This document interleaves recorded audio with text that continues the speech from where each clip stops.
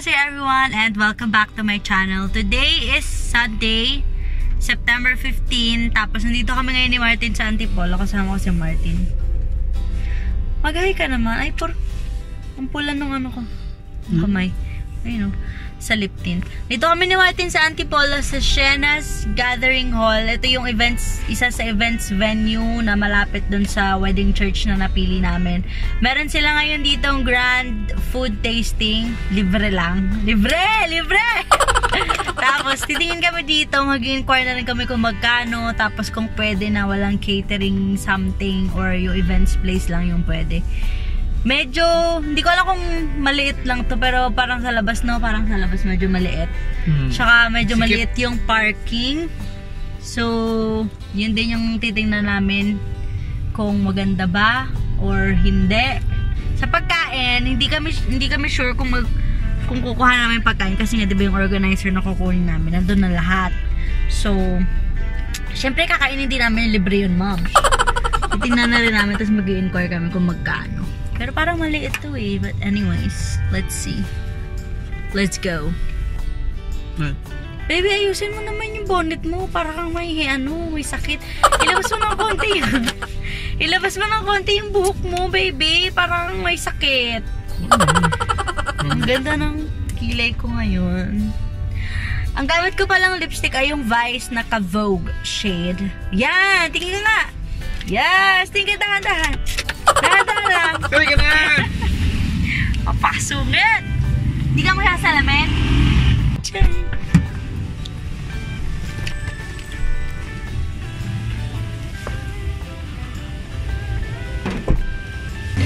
So, nandito na kami ni Martin sa loob. Marami na rin lumapit sa amin na nagbigay ng mga flyers, calling, car calling cards, tsaka nag-explain ng mga packages. Tapos, meron na rin sila ditong setup. Papakita ko sa inyo yung sample setup nila dito. Ito yung ceiling, may chandelier and may ek-ek na cortina. Cortina ba yan? Tapos ayun yung mga tables. Yung VIP itong may yellow. Tapos may flower na matataas. Tapos dun sa area na yun sa sulok yung mga food. Dito yung lounge kung saan may retouch room something. Tapos ito yung sample cake nila and then yung backdrop stage or makeup artist, something ganyan.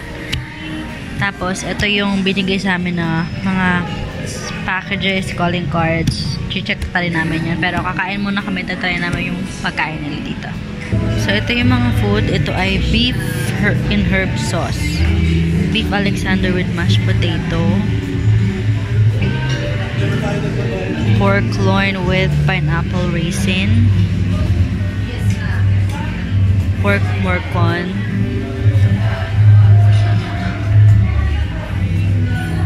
Chicken and lemon butter sauce. Chicken fish fillet sauce. Tuna. Buttered vegetables.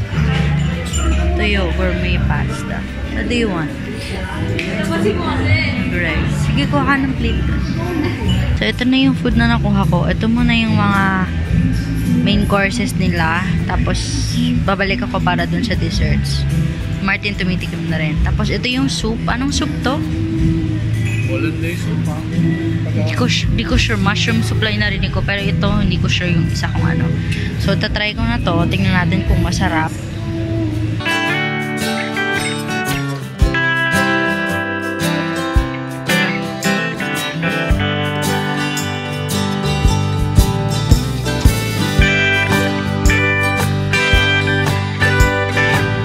Ito naman yung itatry ko ngayon yung desserts. Meron ditong chicken and fruit salad, coffee jelly, banu, banu pie, tapos yung fruits na may hindi ko alam kung anong mga kasamang fruits dyan, basta fruits. So, try natin yan.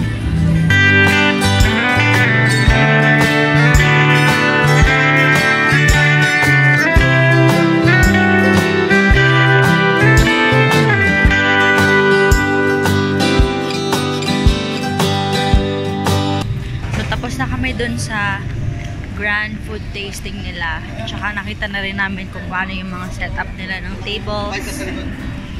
So, sakay na muna kami. Buti na lang tumigil na yung ulan. Lakas ang ulan kanina eh. So guys, ayun na nga, tapos na kami ni Martin dun sa grand food tasting nila. Tapos nakita rin namin yung mga design, yung design ng table, design ng chairs.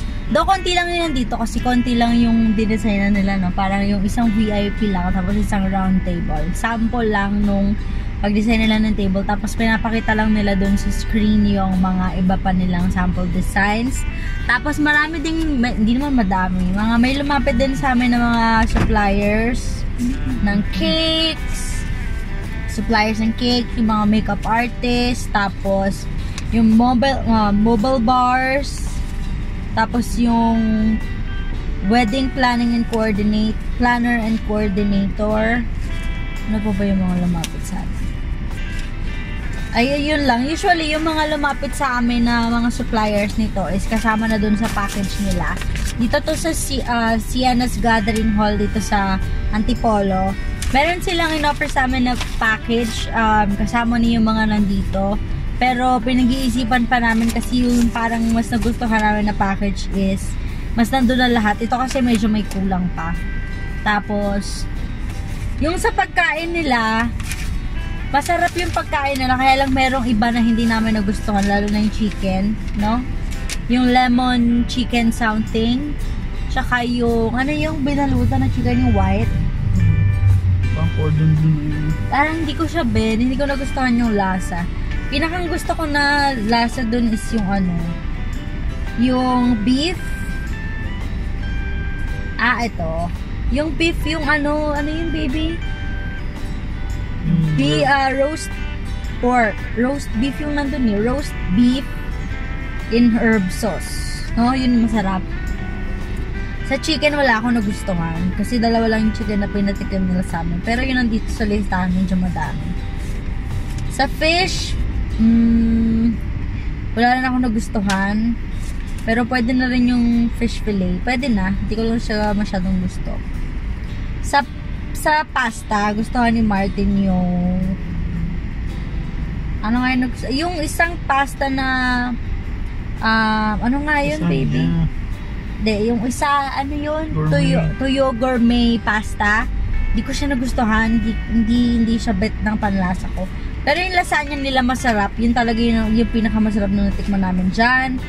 Sa dessert, masarap yung, sabi ni Martin, masarap yung coffee jelly. Doon ako mahilig doon. Tsaka yung sa, sa ano nga, yung sa pasta, yun. Ay, sa pasta. Sa salad, chicken salad ba yun? Chicken and fruit salad something. Yun lang yung tinikman ko na dessert eh. Tapos yung mga iced tea nila, yung mga beverages. Ang pinatikin nila sa amin yung blue lemonade at saka yung for hindi naman four season lemonade, blue lemonade and lemonade. Basta something. So, ayun, pag-iisipan pa namin to, wala pa kaming final decision. Pero, kasi meron sila dito mga free freebies na kapag nag-on the spot booking ka, meron mga freebies dito. Mga, kunwari, bridal car, donut wall, beer station. Yun, may mga ganong kasama. Tapos, meron na ding mga, ano, meron na ding wedding singer. Hindi naman natin kailangan ng wedding singer, ba? Kasi meron naman kami mga, ano, mga songs na gustong ipatugtog. Tapos, yung coffee, free flowing coffee and tea, bread and butter services for VIP, VIPs. Yun lang, VIPs lang meron. So, ayun. Iniisipan namin kasi ang gusto ni Martin ay yung nakita namin sa online na full coordination na, lahat na nandoon. Wala na kami, isang tao lang kakausapin namin. Kasi pag dito, kapag ito yung kukunin namin na package, na dito sa events venue na package, marami pang kulang. Pero kapag yun nakita namin ng organizer, nandun na lahat. Pero pag ano daw, pag venue lang, yung walang package, kapag venue lang, 40,000 tapos may corkage. Hindi ko lang namin alam kung per person ba yung corkage Per person. or 200, ano yun, 200 per person. Mm-mm. So, lahat ng staff, kunwari ng makeup artist or Tama eh. something, so makakamahal ka din. Paano kapag more than 20 yung staff mo, 200? Magkano yun? 20,000? Times two. Times 2 Times ilan? saka ano? 20,000. Times 2 tapos pag-add mo yung zero. O yun. 20,000. Parang medyo mahal. Parang makakamahal pa tayo dun. E di, papatak siya ng mga 60 to 70 yung venue lang. Kasama yung corkage. Diba? Nandun na tayo, pero mas madali. So, kasi. iniisip pa namin ano mas madali? Eh, di ba mas, maga- mas gusto mo nga yung ano lang, yung full coordination. na? Ayun? Yun. Para ba, yun, ay, ayun nga, may, corkage nga lang. Pero, hindi pa kami, hindi pa kami nagde-decide kung dito. Kasi marami pa kami titingnan. Pupunta pa kami ng mga wedding fair. Titingin pa kami ng ibang venue na malapit din sa simbahan. Ito kasi medyo parang, ayun siya, yung Sh- Shena something something. Ito kasi parang 10, 5 to 10 minutes drive from church, no? From yung, yung Immaculate Heart na church. Pero ang sabi kanina nung supplier ng cake, mas marami daw malap, mas malapit pa sa simbahan. Mga 5 minute drive lang siguro, no? Yun. So, hindi pa kami sure. Wala pang wala pang final decision. Marami pa kaming wedding ay, ang bata, Diyos ko. Marami pa kami mga wedding fair na atin dahil kung gusto niyo, pag ikakasal na kayo at makakatipid kayo ng date, girl, umatend na lang kayo ng mga wedding fair. Libre pagkain pa. Di ba? Yun ito na yung pinaka-date namin ngayong araw. Nagpunta kami ng wedding fair. Hindi naman siya, hindi siya wedding fair actually. Food tasting lang siya nung ano, nung venue. Yung mga wedding fair kasi na nakikita namin sa Facebook, sa Mega Mall, sa SMX Convention, ano pa, sa World Trade, mga ano pa yon October, ay kuya, October, November. So, mga one month pa. So, yun, mga pupunta rin kami doon para magkaroon kami ng mga idea pa kung saan makakatipid. Tapos, kung, kung ano mas magandang supplier sa mga cake or whatever. Haralan namin yung budget. Right? Right. So, ngayon, pupunta na kami. Are we moving We are going home.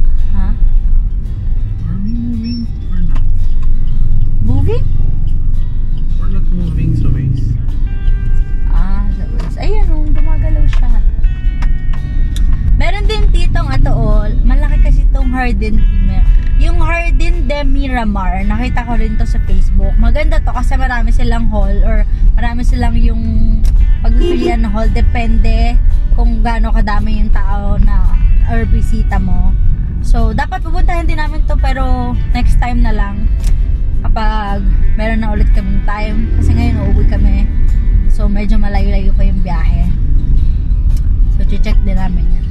Pero gusto ni Martin yung venue kasi bukod sa feeling ko malamig doon, ang daming aircon na baby kapag sinarado nila. Tapos, ano, as in parang private talaga siya na wala wala kang maririnig, na wala kang iba, walang ibang tao na pupunta something. Tapos, ang problema lang doon is yung parking. Though hindi naman kami, hindi naman totally madami yung bisita namin. Pero paano kung may mga dala rin silang sasakyan? Yun yung problema kasi medyo limited yung parking nila. So, ayun lang yung vlog. Ano ba yan? Bakit nakaharap ako sa bintana? Ayan. Pangit ng, medyo maayos yung setup ko ngayon. Sakal ako ng seatbelt.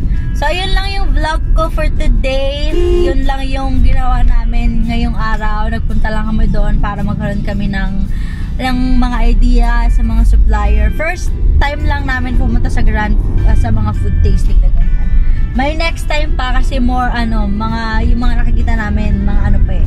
Maraming maraming ganun, maraming mga food tasting and wedding fair pero mga October uh, October November pa. So mga next month and mga until December, yun medyo marami kami pupuntahan na food tasting tsaka mga wedding fair, bridal fair, mga ganun, lahat na ng fairs.